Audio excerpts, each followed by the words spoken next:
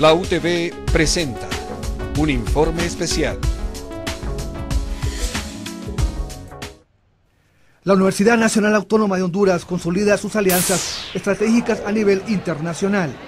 Tras la visita del rector de la Universidad de Alicante, España, Eugenio Jiménez, quien anunció a la rectora Julieta Castellanos que la máxima casa de estudios es la primera universidad a nivel regional de formar parte del portal de letras centroamericano. Ya al margen de los temas tecnológicos, una biblioteca virtual sobre todo lo que hace es que destaca algo que es muy importante y que es muy importante especialmente para las universidades y es el campo de las humanidades. Eh, una universidad que no tenga un campo potente de humanidades eh, eh, bueno, todas las universidades debemos tener campos muy potentes de humanidades porque las universidades, aunque podemos tener fuertes contenidos tecnológicos, el origen de las universidades está justamente en las humanidades. Tenemos un origen común todas y es la antigua filosofía que se fue después desgajando en diferentes grandes campos de conocimiento. ¿no? Entonces las humanidades es el origen de todas las universidades y dentro de esas humanidades pues están todos los temas relativos a la literatura y la cultura de los diferentes pueblos.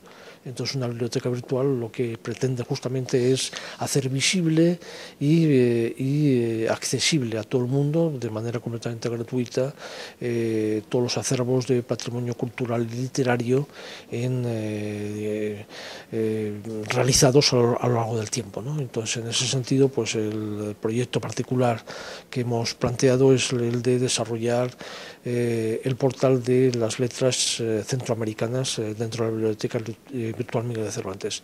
Eso solo se puede hacer con Honduras.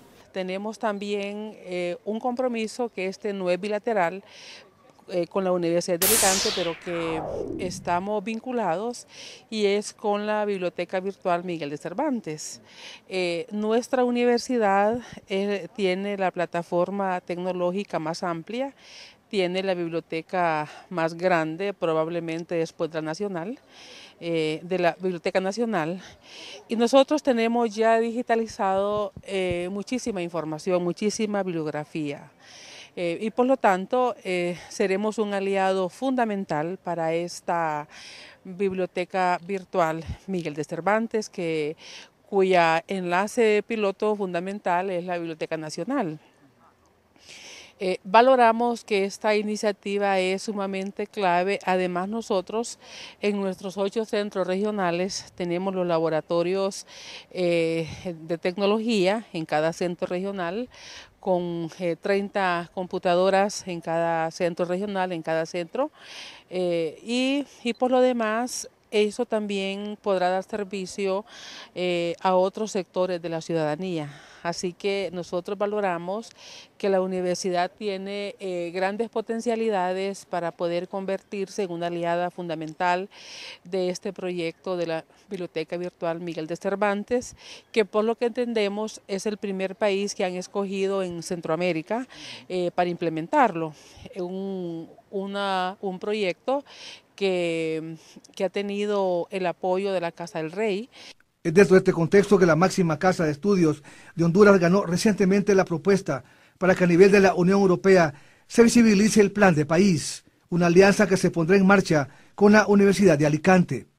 Y sí estamos interesados en que el país quede muy bien con esta experiencia. No vamos a, permitir que, que, vaya a ser un proyecto que fracase, que esté lento, porque de como uno quede con estos proyectos eh, internacionales, así las puertas se le abren tanto al país como a, a, las universidades en este caso.